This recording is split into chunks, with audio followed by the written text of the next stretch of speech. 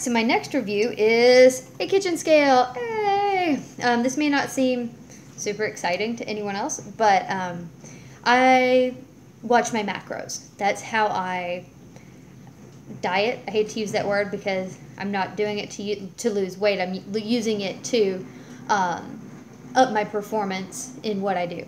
But I love this because it has the mode button at the top. So that means that you can go from grams to ounces uh, right on the front. It's so easy. Uh, grams, ounces, pounds, kilograms. And it goes up to 22 pounds. So, I mean, it can take a decent bit of decent bit of weight on it.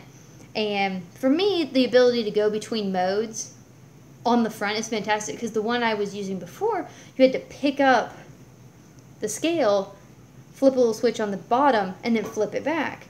Well, you know, when I'm trying to just measure a bunch of stuff out quickly, that doesn't work. Or that doesn't work for me. Um, and with this, I mean, you can see it's got a really nice, sleek design. Um, very pretty, very shiny. Uh, the the on off button is the red one, so even if you're not really paying attention, you you'll know which one is the on off. Um, the measurements have been accurate as far as I can tell. I compared it to the one that I currently use.